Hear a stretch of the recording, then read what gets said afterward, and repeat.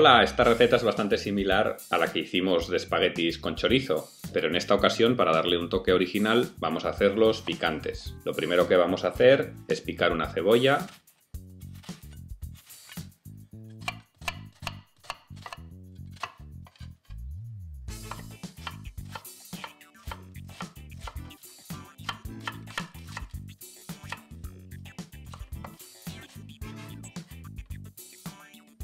y la vamos a poner a freír en una sartén con un chorro de aceite de oliva junto a la zanahoria también picada y los cuatro dientes de ajo.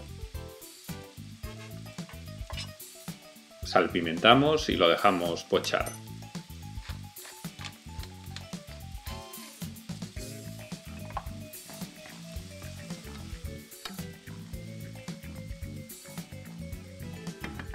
El otro día Juan Di me regaló estas guindillas y vamos a coger una porque tampoco quiero que quede muy muy picante. Si no tenéis guindillas ya sabéis podéis utilizar un par de cayenas. Y aquí os voy a dar un consejo. Bueno, no es un consejo mío, es un consejo de cualquier bebé. Después de picar guindilla, uno no puede tocarse la cara y menos los ojos. Pero solo hay que fijarse en cómo se rasca un bebé, que lo hace con los nudillos, que ahí seguro que no habéis tocado la guindilla.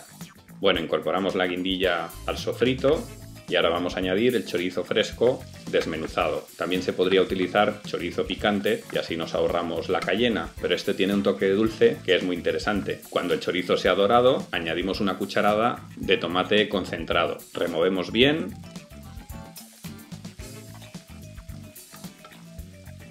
y ya por último añadimos cuatro tomates pelados y troceados. Y para reducir su acidez vamos a poner un poquito de azúcar y esto lo dejamos pochar pues unos 10-12 minutos.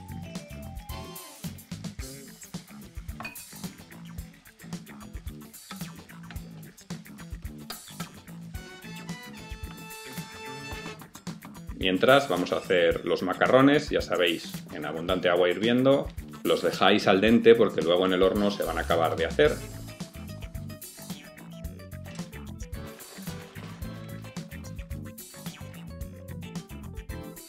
Los escurrimos bien, los incorporamos a la salsa y la distribuimos toda uniformemente.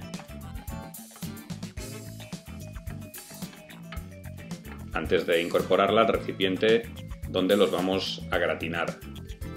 Podríamos haber hecho una bechamel por encima, pero creo que así ya son suficientemente sabrosos. También hay quien le pone un poco de mantequilla al queso y así se dora más rápidamente, pero tampoco lo he considerado necesario.